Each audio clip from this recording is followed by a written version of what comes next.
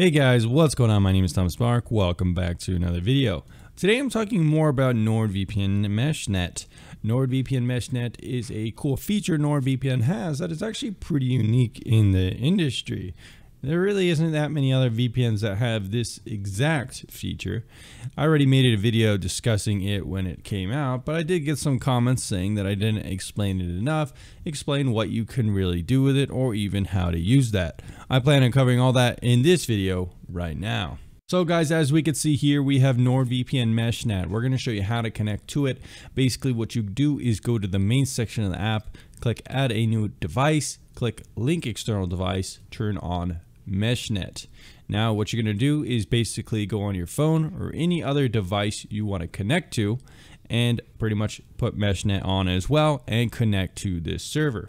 Once you do this, you will be connecting to your computer through your phone through a virtual server encrypted by WireGuard. So pretty cool, right? For any application that lets you connect from, you know, your phone to computer, you're going to use that IP address and you should be able to connect fairly easily. What exactly, you know, can you do with this? Well, there's a lot of people already coming up from some pretty cool things. One example is you could use Nord MeshNet to connect to a Plex server remotely. Let's say you have a Plex server running on your computer. You turn on Nord MeshNet and then you can remotely connect to that server somewhere else. Maybe you're in a hotel, friend's house, you can connect to your server at your house um, with Nord MeshNet. This guy says he tried it out and works great, so long as both devices have MeshNet turned on. It will work. The non-server device doesn't have to be connected to NordVPN, just MeshNet. He got full H2 pass-through on his phone while on cell service, so that's pretty good. So really nice. Another thing that you another thing that you can do is use this Nord MeshNet feature to connect to your Pi-hole. And how would you do that? Well, just in case you didn't know, a Pi-hole is a network DNS kind of ad blocker service that you can put on a Raspberry Pi or even a server that you have. I've done it myself. It's pretty cool, really powerful ad blocking, but it can be hard to manage the Pi uh, hole and even get its benefits when you're somewhere else. So in this example, you could install NordVPN on your phone, set the MeshNet to on, and remotely connect uh, to your Pi hole and get the benefits. Basically, what you have to do is install uh, NordVPN on your Pi hole or your server. On the Pi side, um, you do not even connect to the VPN. You just need to enable the mesh feature on. So you would turn this on and uh, you type NordVPN MeshNet Peer Refresh and NordVPN MeshNet Peer List from your phone, go to the settings page and set the IP you got from the list command above at the custom DNS and enable the MeshNet feature. Um, so pretty cool. I'll put this little guide in the description down below as well in case you're looking to do this. Pretty cool. Another question I saw is how would you use NordVPN's MeshNet to transfer files from your computer to your phone? So in this example, you're going to need some kind of file sharing service. Um, you're going to have to set that up and then once you do set that up, you should be able to use MeshNet to transfer files from your phone remotely to your computer, even if you're not there. Basically, you just use MeshNet to substitute the LAN IP with the MeshNet IP.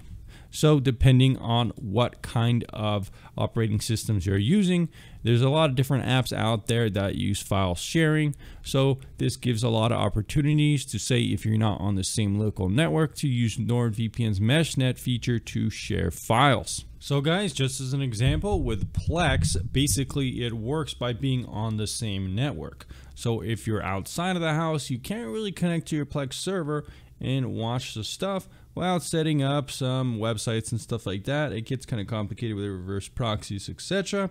Um, you can actually kind of do similar stuff with TorGuard's private router, but I digress. Um, with NordVPN specifically and this MeshNet, as you can see here, I'm actually connected to my computer right now. As you can see on my phone, it says LTE. These are the files on my computer, and I can even show you that uh, by doing a little trick here. Basically, we can show you right here that this is the Plex server running on my native computer. We have these 3D files from this guy called Eastman, really cool 3D modeler. And these are the files on my computer. So my phone is not connected to the Wi-Fi. I'm connected through MeshNet. Um, MeshNet is on the computer. It's um, running in MeshNet on my phone, and I'm directly connected that way. So the power of this is very cool and very useful for a lot of things. So guys, in my last video, I didn't show the full capabilities of MeshNet, and I got some criticisms for that. However, I literally made that video the day the feature was released and I kind of wanted it to just be a news briefing to discuss the feature itself. Today I've showed you the full capabilities. I've shown you how you can use it to take advantage of something like Plex and there are also a lot of other uh, capabilities too with file sharing, game servers, uh, stuff like that. It literally is just your playground, especially with cool things like Pi, networking, and stuff like that.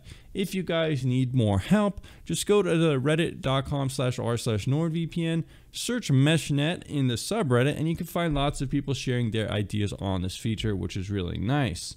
If you guys haven't purchased NordVPN and you want to try out MeshNet, click the link in the description and pin comment. It should give you the best ongoing deal since it can be confusing to find the best price with NordVPN and it will also directly help support the channel. This video is unsponsored, but I did hope it would help you guys figure out this feature if you want to take advantage of it. So let me know down in the comments down below if you're doing anything cool with NordVPN's MeshNet. Anyways, see you guys in the next video very soon.